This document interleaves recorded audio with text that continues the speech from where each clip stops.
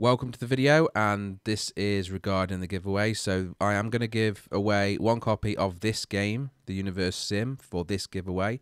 I will be doing it in other games as well. All of the games that I'll play, I'll be doing a giveaway for, or just a random voucher. But somewhere in this video, there'll be the instructions and the secret word or the word I'd like you to use. All you need to do is get that word into the description on the comments of this video. Just the word or a comment by yourself with the word is fine. And you'll be automatically entered into the prize draw. And I'll be giving away one copy of this game. So good luck and enjoy the video. Hello and welcome back to another episode of the Universim. So we left off with the medieval uh, buildings being upgraded. Most of them, I think, have finished now. 11 a look now, you can see. Looking very nice as well. They are. It is a very well made game in terms of graphics.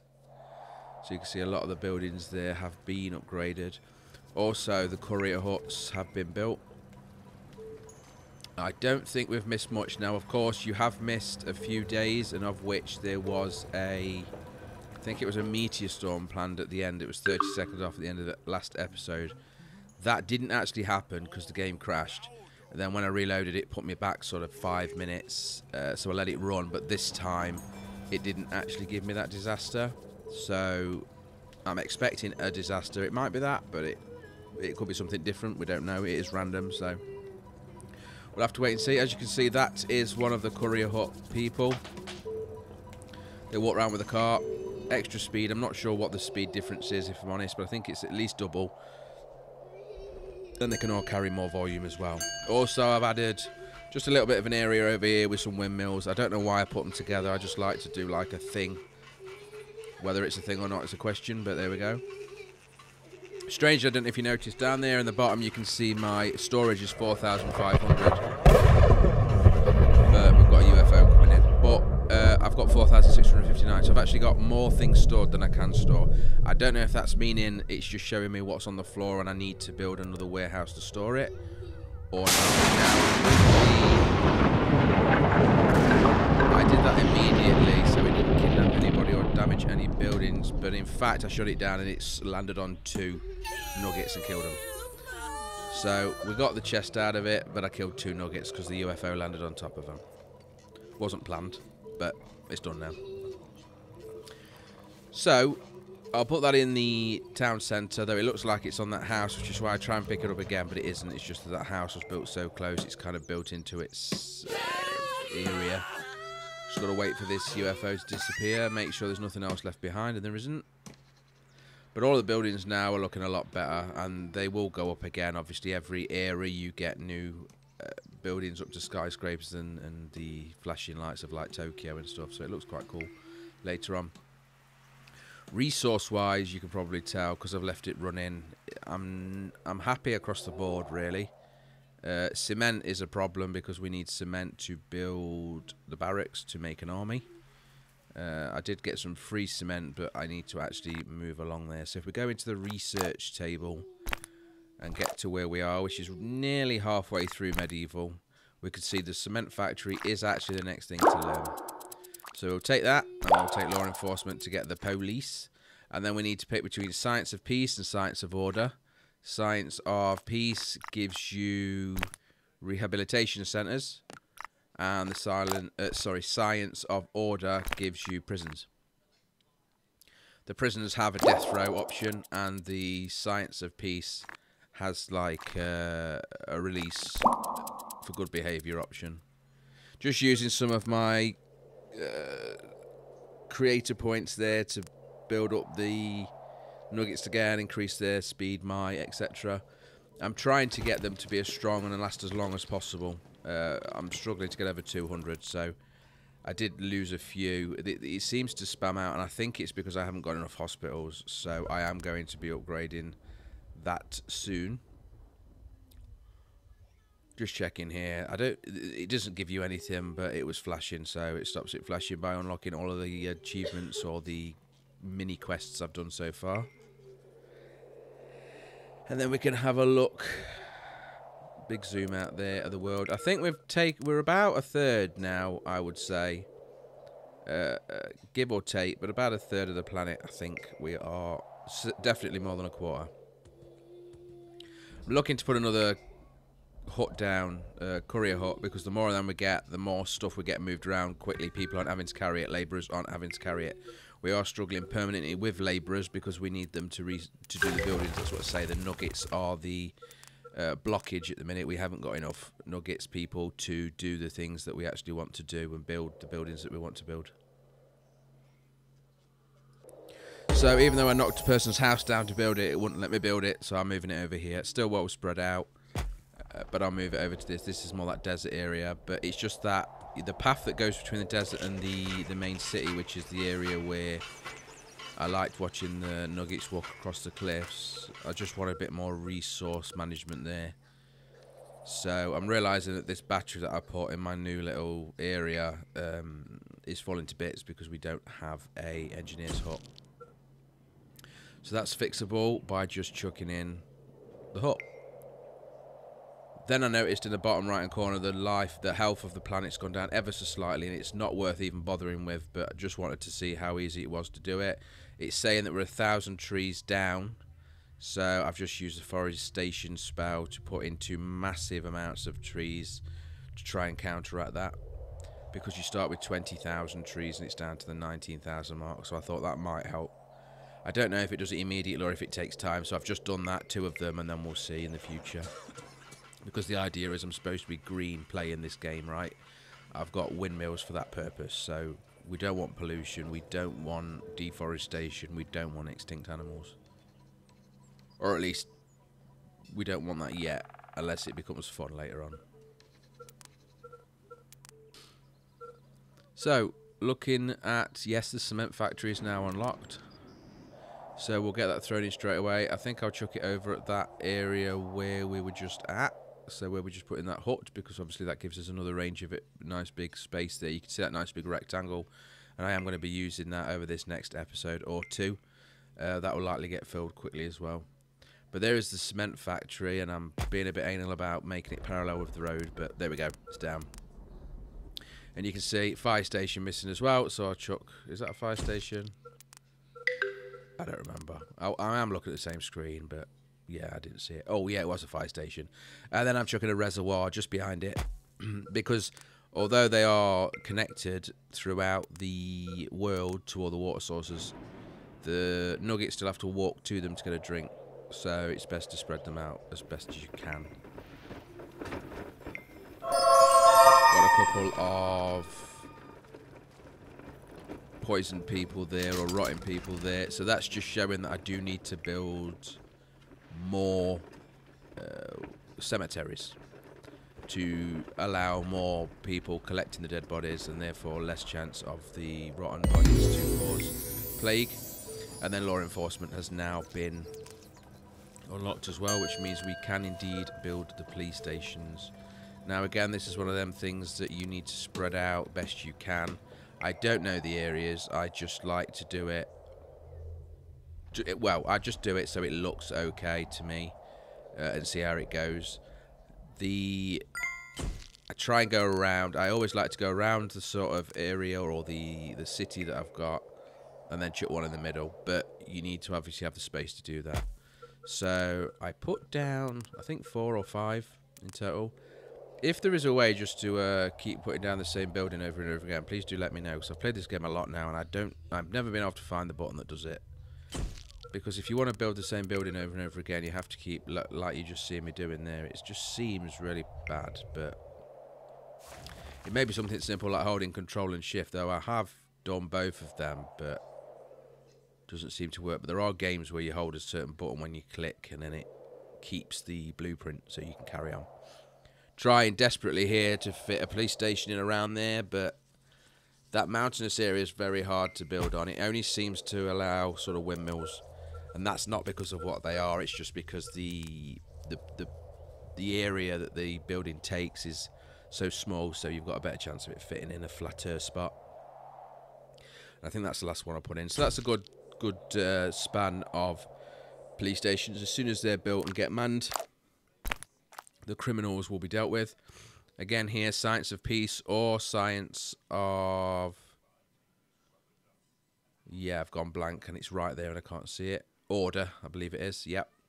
I actually go for Science of Order, so I go for, and I'm just reading them uh, to myself, which you can too. I'll leave it in. But yeah, Science of Order is the prison, and Science of Peace is the rehabilitation centre, and I go for the prison.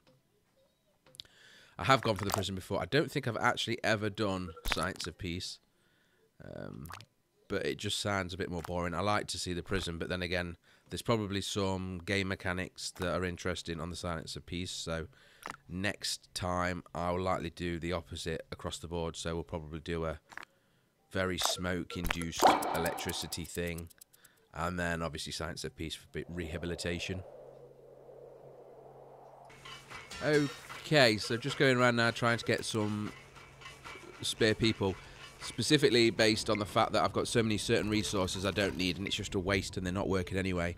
So the iron, the uh, the gas, the oil, that sort of stuff. If I can turn them off, it will allow them people to work somewhere else.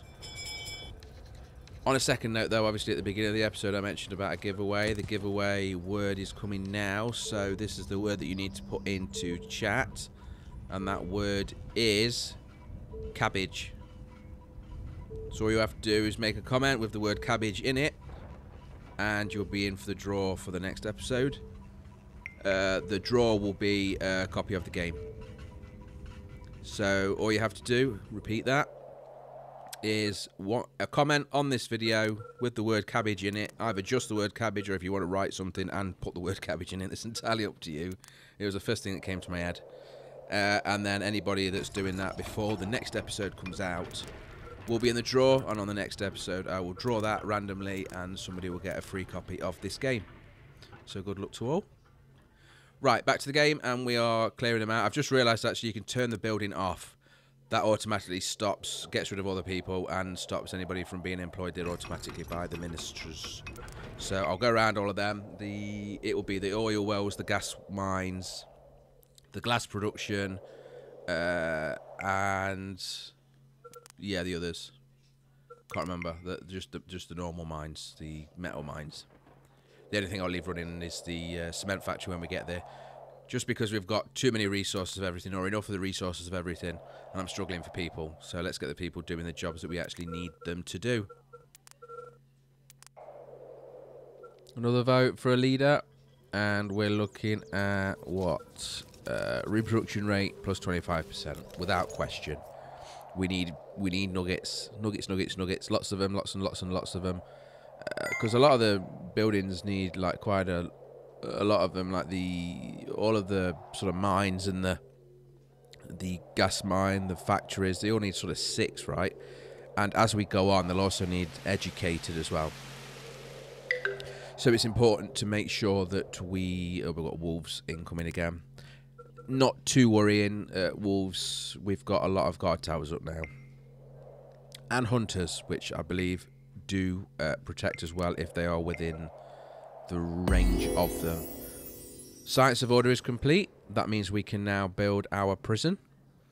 Uh, I am holding back on the research on purpose. I'm not sure. I'm pretty sure I've said this in future episodes or uh, episodes previously to this one where I don't want to just let it do it automatically and I don't want to just keep going because it just gets ahead.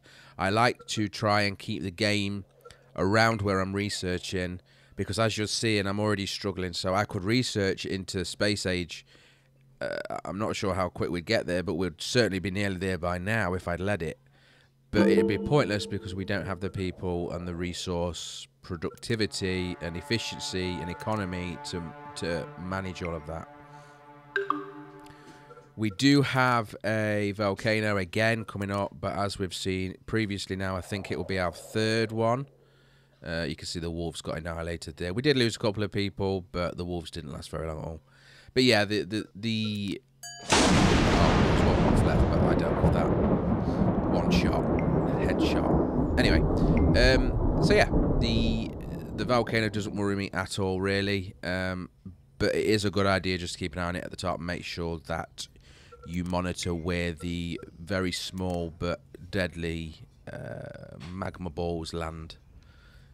Just looking here, they want some support, i.e. they want us to send them food. I'm saying no we have lots of food, we have lots of everything, but they never benefit me. All the resources they can give me in trade don't benefit me. So I'm always inclined to decline everything that they offer and just be the only person on this planet, right? It's my planet, and then the moon will be mine when we get there too. I hope. Another example here of skipping the winter. Uh, when I've got enough creator points, I like to do that simply because it allows me to keep up with the water. I don't run out. It keeps up with the food, and that's likely why I'm doing so well for food, uh, specifically food anyway, and the, and the water because we don't have the freezers to make us lose water. We don't have the freezers to make us lose crops. So we will celebrate that and have a nice little bonfire night going thing there. You know the moon in the background. I'll leave that for you. It is done every time we have a new leader appointed. One thing I have noticed though is for leaders, by the way, check the age of the person that you're voting for as well. Because if the leader dies, you don't get an instant replacement for the leader. You have to wait a certain amount of time, and I think it's about 30 minutes real time. Um, so if you pick somebody and then they die or you kill them, yeah, that's going to be awkward for you. I'm looking at the barracks. You can see you can only put 10 people in each barracks. So I am going to, now we've got the cement factory on its way being built, I'll put down the second one. That will allow us to have 20 in our army. Uh, the maximum you can have is 40. And of course, you can go up to grenadiers, tankers, and then helicopters at the very end. But I don't know if I've ever got that far. I'm pretty sure. I don't think I've got to tanks anyway. But yeah, the cement factory is finished. It needs up to six educated people, so I'll chuck in three there. That should get us to a decent amount. Yeah, it's working. So they'll start that, and the uh, cement will go directly into the second barracks to give us an army of 20. 20 should be a nice amount to protect us from most of the attacks and raids so far. Just looking at the aesthetics of the building, it's not the best, but it's alright, I suppose. I've noticed that a lot of people are wearing some really funny clothes as well. Uh, some really funny headdresses and really strange outfits.